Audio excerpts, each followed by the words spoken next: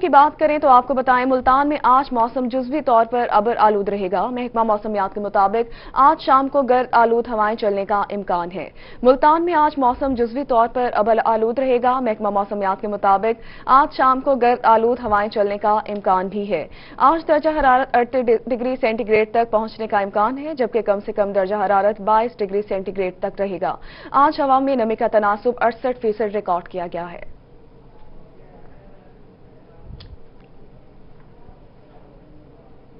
की बात करें तो आपको बताएँ, मुल्तान में आज मौसम जुजवी तौर पर अबर आलूद रहेगा। महकमा मौसमियात के मुताबिक आज शाम को गर्द आलूद हवाएँ चलने का इम्कान है।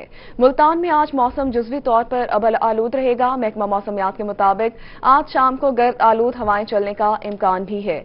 आज दर्जा हरारत अड़तीस डिग्री सेंटीग्रेड तक पहुँचने का इम्कान है, जबकि कम से कम दर्जा हरारत बाईस डिग्री सेंटीग्रेड तक रहेगा।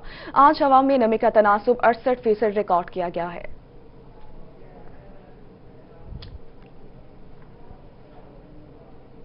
की बात करें तो आपको बताएँ, मुल्तान में आज मौसम जुजवी तौर पर अबर आलूद रहेगा। महकमा मौसमियात के मुताबिक आज शाम को गर्द आलूद हवाएँ चलने का इम्कान है। मुल्तान में आज मौसम जुजवी तौर पर अबर आलूद रहेगा। महकमा मौसमियात के मुताबिक आज शाम को गर्द आलूद हवाएँ चलने का इम्कान भी है। आज दर्जा हरारत अड़तीस डिग्री सेंटीग्रेड तक पहुँचने का इम्कान है, जबकि कम से कम दर्जा हरारत बाईस डिग्री सेंटीग्रेड तक रहेगा।